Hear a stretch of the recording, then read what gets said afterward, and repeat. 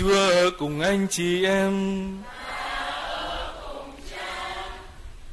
Khởi đầu tin mừng Chúa Giêsu Kitô theo Thánh Matthew.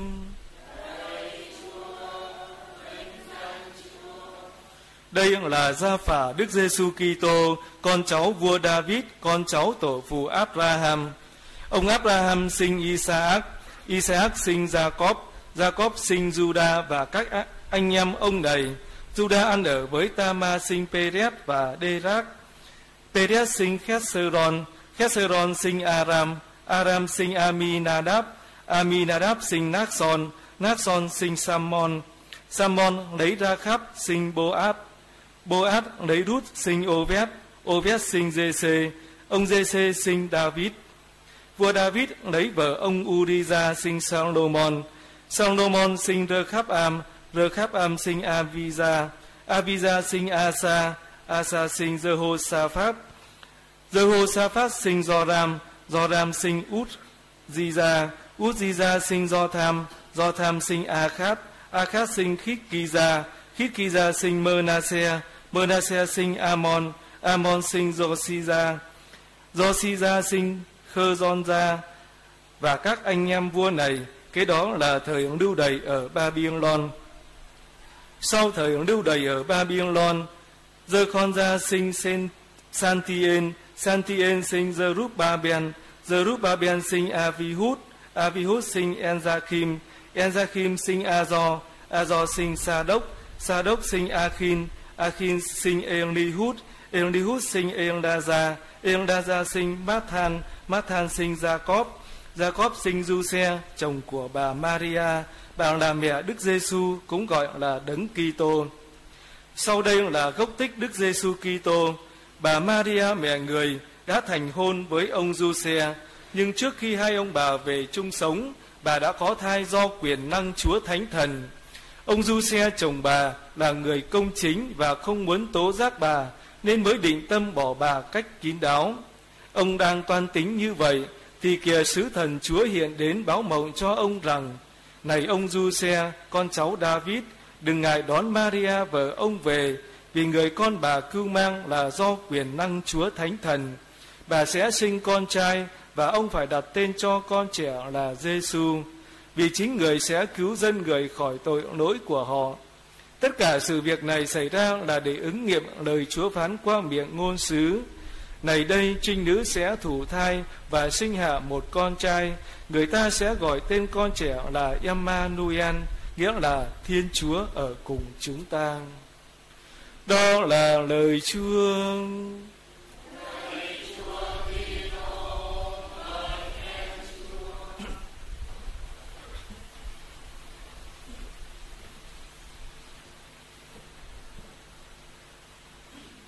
Hôm nay chúng ta mừng sinh nhật của Đức Trinh Nữ Maria và hội thánh cho đọc gia phả của Thánh Matthew. Vậy thì hội thánh có ý gì? Chúng ta, đối với chúng ta thì rất nhiều tên trong đó đối với ta là lạ. Nhưng đó là những cái mốc mà Thánh Matthew ghi nhận từ tổ phụ Abraham nghĩa là từ lúc bắt đầu thành lập lịch sử Israel, cũng là khởi đầu lịch sử cứu độ của Thiên Chúa. Tất cả những con người đó đều được Thiên Chúa kêu gọi để đi vào trong lịch sử cứu độ. Và cuối cùng thì chúng ta thấy Thánh Giuse và mẹ Maria ở trong cái dòng lịch sử đó.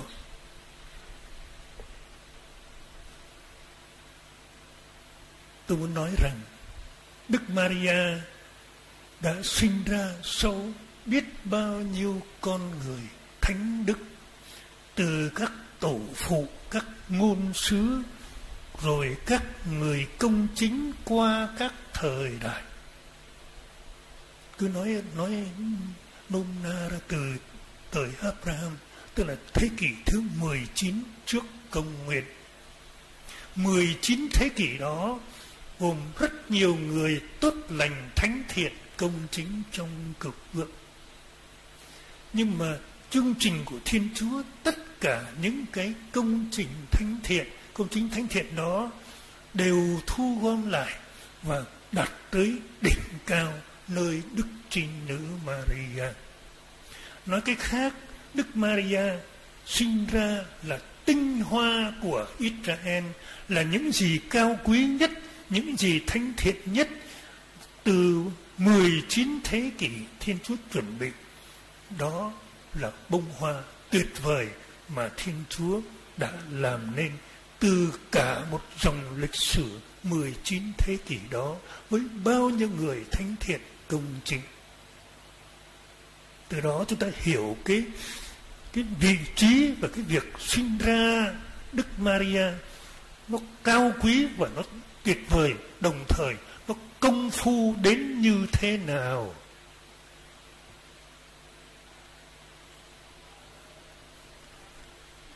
Cho nên, thưa anh chị em, khi Đức Maria đó đã đón nhận tất cả những cái tốt lành của người khác thì Thiên Chúa ban cho mẹ cái ơn vô nhiễm để mẹ trỗi vượt và nổi lên hơn tất cả ở mọi thời, mọi nơi. Và đầu lễ đó, thánh cha chủ tế nói tới cái niềm vui mà thưa anh chị em cái niềm vui là trước hết là niềm vui của thiên chúa. Vì thiên chúa đã bỏ rất nhiều công phu, chúng ta phải nói như vậy công phu và thời gian 19 thế kỷ các cái để cuối cùng có một bông hoa tuyệt vời nhất là Đức Maria. Và Thiên Chúa nhìn vào Đức Maria khi sinh ra, người lấy làm thỏa mãn, hài lòng, thực sự. Vì Thiên Chúa đã đích thân chọn Đức Maria và Thiên Chúa trao Đức Maria cho Chúa Giêsu để mẹ làm mẹ con của Thiên Chúa làm người. Như vậy chúng ta hiểu rằng là Đức Maria là niềm vui đầy tràn của Thiên Chúa. Thiên Chúa thỏa mãn, Thiên Chúa sung sướng, hạnh phúc nhìn nơi Đức Maria là những kỳ công kiệt tác có một không hai mà Thiên Chúa làm đã làm nên cho Thiên Chúa và cho loài người chúng ta. Niềm vui Đức Maria khi sinh ra đem lại cho Thiên Chúa và đem lại cho cả nhân loại chúng ta. Trước hết cho dân Israel, rồi cho tất cả, các mọi dân tộc ở mọi thời. Từ nay sẽ, mọi thời sẽ khen tôi diễm phúc. Đấng toàn năng đã làm cho tôi biết bao điều cao cả nói như vậy cũng vẫn chưa đủ đâu, thưa anh chị em. Ừ, Đức Maria hiểu rõ chuyện đó mà Đức Maria còn hiểu hết nữa. Ừ, để làm sao làm sao để luôn luôn lúc nào trong mọi lúc phải xứng đáng với sự tuyển chọn của Thiên Chúa, chí thánh ba ngôi và xứng đáng với lòng tín nhiệm của Thiên Chúa đã dành cho mình qua các thời đại cho tới ngày hôm nay. Vì thế thưa anh chị em, chúng ta mừng Đức Maria ngày sinh nhật đó thì chúng ta được vui mừng. Đến lượt mỗi người chúng ta được vui mừng.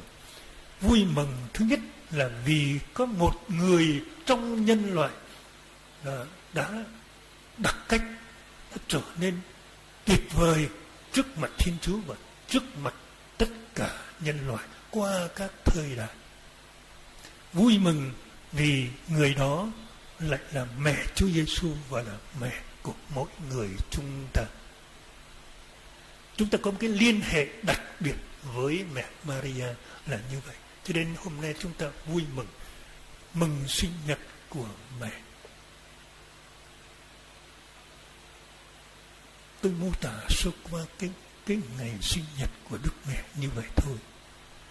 Nhưng cái điều hôm nay tôi muốn nói rằng, khi nghĩ đến, khi mừng ngày sinh nhật của mẹ Maria, thì tôi đề nghị mỗi người nhìn đến cái ngày sinh nhật của mình.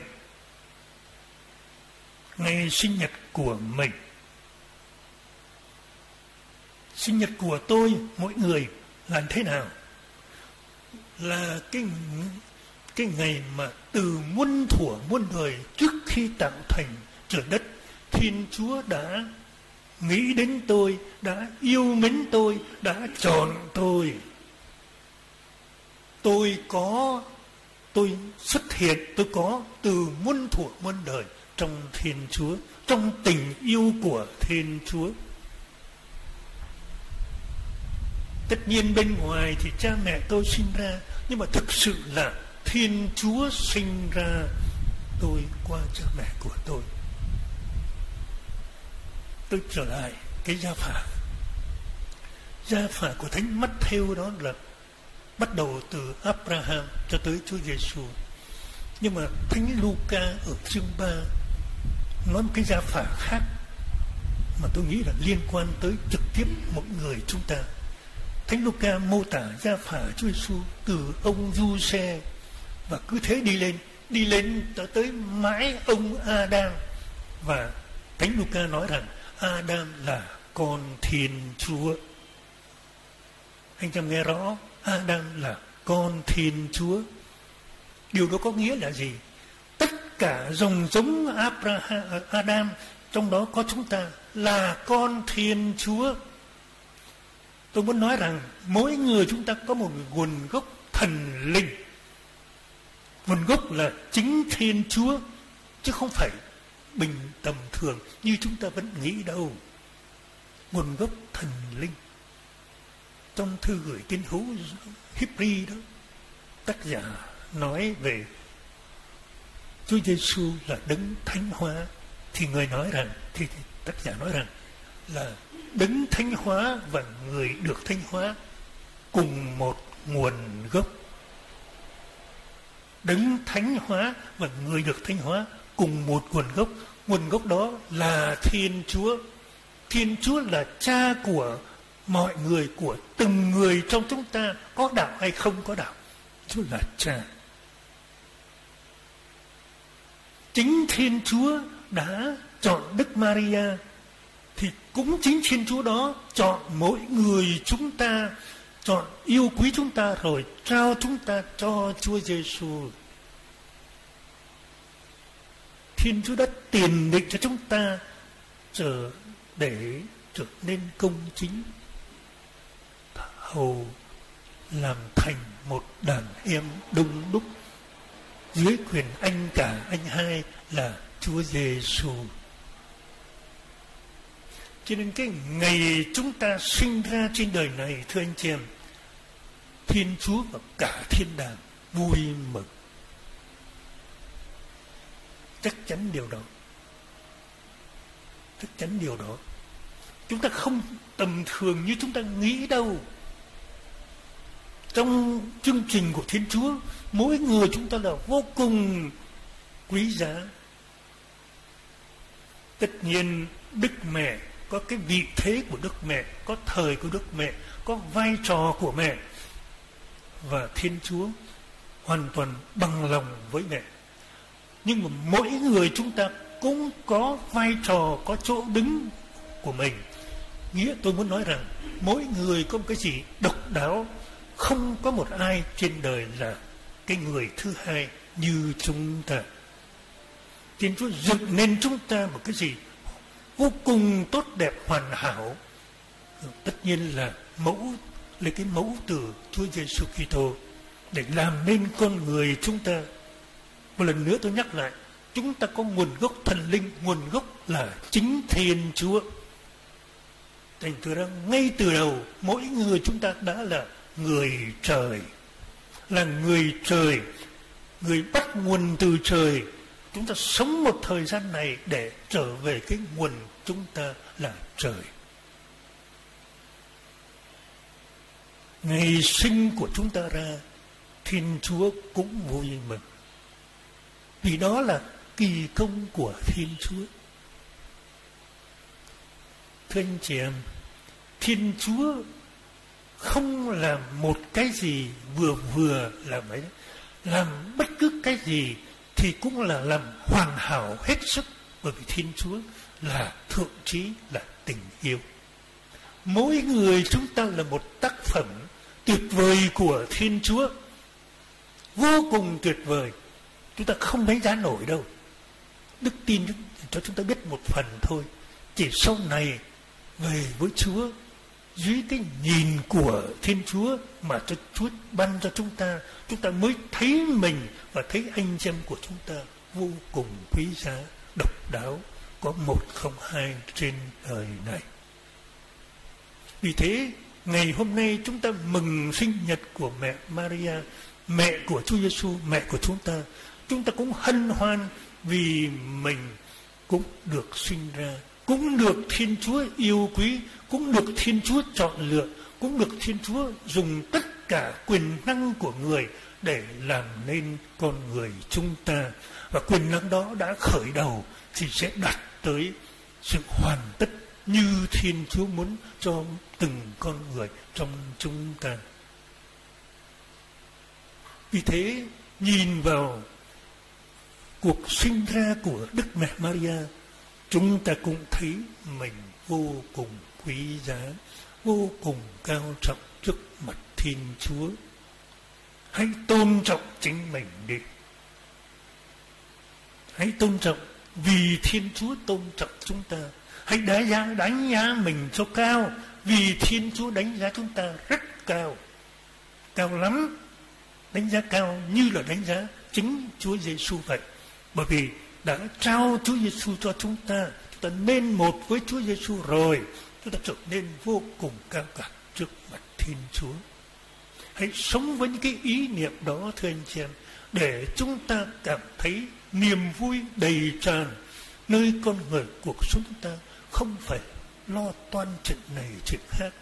Những cái chuyện lặt vặt kể cả bệnh tật đau yếu hèn hạ tội lỗi cái gì đó. Những cái đó lẻ tẻ hết. Tình yêu của thiên chúa dành chúng ta trong chúa giêsu cô quá lớn lao lớn lao đến nỗi ngập tràn tất cả con người cuộc sống chúng ta và có khả năng để tẩy xóa và biến đổi chúng ta. Mỗi ngày trở nên vô cùng tốt đẹp. Vì thế, để sống với những gì mà thiên chúa đã ban chúng ta và đang chờ đợi chúng ta tất cả để được lớn lên như thiên chúa muốn thì nguyên tắc hôm nay trong bài đọc của thư của thiên hữu Roma đó, Thiên Chúa làm cho mọi sự sinh lợi ích cho tất cả những ai yêu mến người. Và ai là kẻ yêu mến Thiên Chúa? Thưa là kẻ được Thiên Chúa yêu mến. Anh chẳng nghe tôi nói đó. Ai là người yêu mến Thiên Chúa? Là những người được Thiên Chúa yêu mến. Khi Thiên Chúa yêu mến thì Thiên Chúa đổ đầy tràn thánh thần tình yêu vào cho chúng ta. Và nhờ thánh thần tình yêu đó chúng ta yêu mến Thiên Chúa. Và yêu mến Thiên Chúa được Thiên Chúa yêu mến thì sao? Thì mình sẽ thấy rằng mọi sự xảy ra cho mình đều có ích có lợi, đều do lòng yêu thương vô cùng của Thiên Chúa cho phép xảy ra. Vì thế, đầu lễ cha chủ tế con nói tới vấn đề khiêm nhường của Đức Maria, một cái cụ thể mà chúng ta vẫn nói với nhau đó là tiếng xin vâng. Tiếng xin vâng. Xin vâng tại sao tôi xin vâng? Không phải vì tôi thấy cái này kia nhưng mà tôi biết rằng tôi tin rằng thiên chúa để mọi chuyện xảy ra vô cùng tốt đẹp cho tôi, cho bao nhiêu người khác và có thể đem vinh danh lại cho Thiên Chúa. Cho nên mọi sự xảy ra cho tôi đều có lợi cho tôi và giúp tôi tôn vinh Thiên Chúa. Anh em nghe rõ mọi sự. Khi chúng ta sống trong cái niềm hân hoan được yêu thương như vậy rồi thì, thưa anh chị em, tất cả những chuyện trục trặc, những chuyện khó khăn, những dân truân, những đau khổ thử thách hồn sắc nó trở nên khác hơn. Nó không to lớn và nặng nề như chúng ta vẫn tưởng. Anh chị em để ý mà coi. Tại sao tôi cảm thấy đau khổ quá? Chịu không nổi. Tại sao tôi cảm thấy cái này là khốn khổ cho tôi quá? Vì sao vậy? Vì tôi nhìn cái đó theo cái nhìn của tôi. Tôi có vẫn ở trong lĩnh vực tự nhiên. Tôi vẫn ở trong lĩnh vực tự nhiên để nhìn tất cả những cái đó không? Chúng ta không được ở trong lĩnh vực tự nhiên mà phải trong lĩnh vực của thiên chúa lĩnh vực đức tin để nhìn tất cả mọi sự sinh đều sinh ích cho tôi hết. Không trừ một cái gì hết. Thời tiết nắng mưa, những người chung sống với tôi trong gia đình mọi sự đều sinh ích lợi cho tôi. Với một điều kiện rằng tôi cảm nhận được tình yêu thiên chúa dành cho tôi. Đó là điều tôi đề nghị hôm nay, ngày sinh nhật đức mẹ đó. Chúng ta mỗi người chúng ta xin đức mẹ đừng xin ơn này ơn khác. Xin mẹ cho con, đến lượt con, cũng cảm nghiệm được tình yêu chúa dành cho con như mẹ đã đã cảm nghiệm. Bằng đó đủ rồi, tất cả rồi. Cảm nghiệm được tình yêu thiên chúa dành cho mình, thì lúc đó mình thấy mọi sự, mọi người khác trước đây. Nó không phải như chúng ta vẫn nghĩ mà mọi sự mọi khác. Chúng ta bắt đầu nhìn mọi sự mọi người như thiên chúa nhìn, như chúa giêsu nhìn và như vậy, nhìn mọi người mọi sự thiên chúa nhìn thì tất cả mọi người mọi sự, cả đau khổ thử thách gian truân đều góp phần làm nên làm nên tôi trở thành người công chính và để được hưởng vinh quang với Chúa Giêsu với mẹ Maria.